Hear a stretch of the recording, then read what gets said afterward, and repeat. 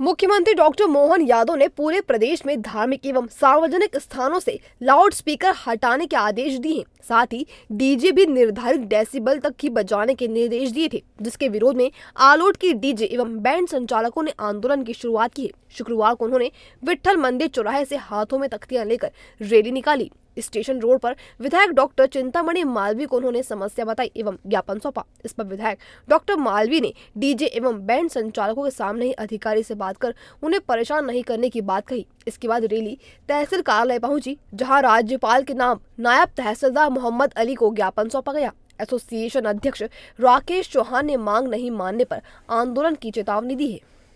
हम सब लोग अपनी पेट की लड़ाई को लड़ने के लिए आज रोड पे आए हैं। आज हमने माननीय चिंतामण जी मालवी विधायक को एवं माननीय अनुवेग अधिकारी के ज़रिए ज्ञापन दिया है। महामहिम राज्यपाल तक हमारी बात पहुँचे।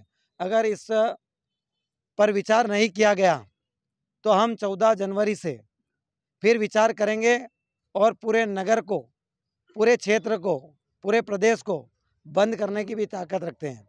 यदि हमारे द्वारा माइक साउंड डीजे नहीं लगाया गया तो क्या कोई कथाकार कथा कर पाएगा या कोई कथा नहीं हुई, या कोई नेता, राजनेता अपनी बात रख पाएगा?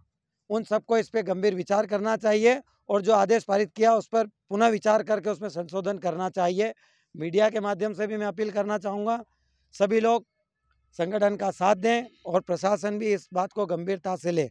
अन्यथा, हम पूरे मध्य प्रदेश के संगठन मिलकर भोपाल में, जम्बूरी मैदान में धरना देने को भी तैयार हैं।